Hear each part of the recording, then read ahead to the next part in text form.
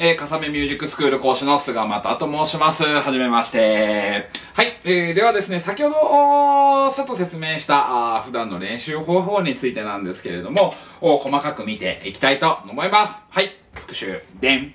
練習方法についてですね、えー、A、力の入れすぎに注意。ここをね、えー、どういう風にしたらじゃあ力の入れすぎっていうのを避けられるのっていうところ、えー、これをですね、えまず見ていきたいと思います。なかなか一概にね、えっ、と、肩の力抜いてとかいう風にね、え言われたりしますけれども、やっぱり力って入っちゃうし、抜くって具体的にじゃあどうやるのかっていうところですね、え解説していきたいと思います。まずですね、あの、曲から一旦離れましょう。普段やってる曲で力が入りすぎてる方が、急に曲をね、あのー、弾いて力抜いてって言われても多分抜けないと思います。なので、じゃあどういうことをしたらいいかと。いうの、ものすごくシンプルにですね、弾くっていうところと向き合っていきたいなというふうに思うわけです。なので、例えば、えー、ドレミファソラシド、なんかこういうですね、いわゆる基礎練習の部分にあたる部分というのを、えー、大事にしていきたいと思います。はい、えー、ドレミファソラシド、まずですね、何も考えずに一回弾いてみてください。はい。ドレミファソラシドって弾いたときに、えー、まあ、ドシラソファミレドまで行きましょうか。一回こう。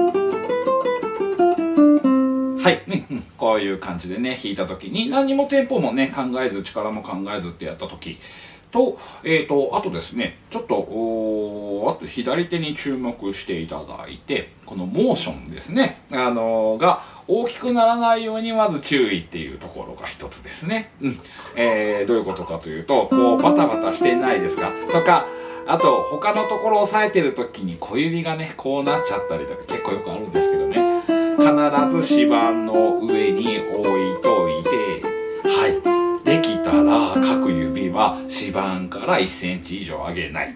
はい。まあ1センチっていうのは極端な話ですけどね。なるべくこのモーションが小さくなればなるほど必要な力は少なくなる。これは、ね、冷静に考えればその通りですよね。はい。なので、それを目指しながら弾いていくわけです。はい。で、最初のうちはなかなかね、無駄な動きがどうしても多くなってきちゃうと思うので、はい、早く弾いても意味がないです。うん、本当にこれはそう。ゆっくり弾いて、その通りに行くようになるっていうことですね。で、慣れてきたらちょっとずつ、えっ、ー、と、スピードアップはするんですけれども、あの、指の動きはバタバタしちゃダメですよ。うん、こういうことですね。うんごくゆっくりで大丈夫です。うん。で、えっ、ー、とですね、これができるようになってくると、音のつながりとかね、えー、こういったものもすごく良くなってくるので、えっ、ー、と、はい、ぜひぜひ。で、えっ、と、この感覚を持って、え曲にトライしていくっていう感じですかね。はい。あとは、もう一つ。うん。あの、音をですね、あの、通常出してる音はこれくらいだとしま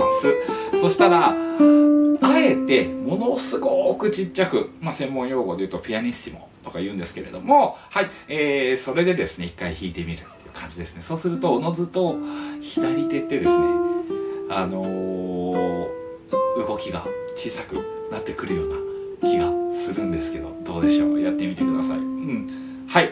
要は、あの、このバタバタしてる状態ってやっぱり無駄な動きがすごく多い。無駄な動きがすごく多いっていうことは力が入ってるっていうことなんですよね。うん。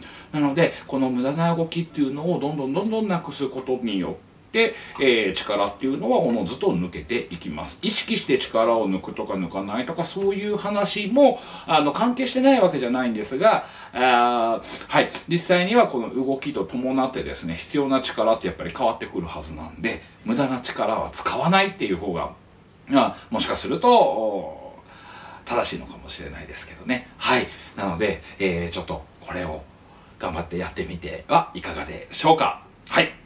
どうもありがとうございました。